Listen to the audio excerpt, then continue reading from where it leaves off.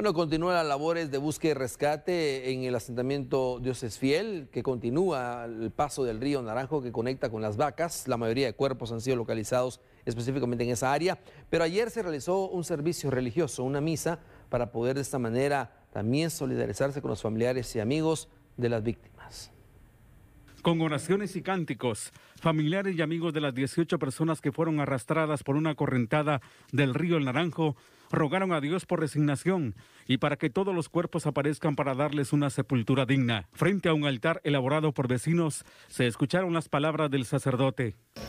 Sueños que han sido pues arrebatados también por la naturaleza. Ponemos esta tarde noche en las manos de Dios la fortaleza de las familias, como también de los vecinos y de este lugar.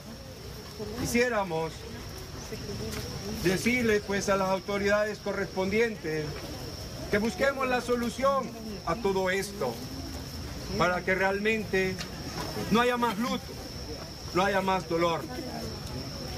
Sabemos de que Dios perdona siempre. Nosotros los seres humanos perdonamos de vez en cuando, pero la naturaleza nunca nos va a perdonar por el daño que le hemos provocado.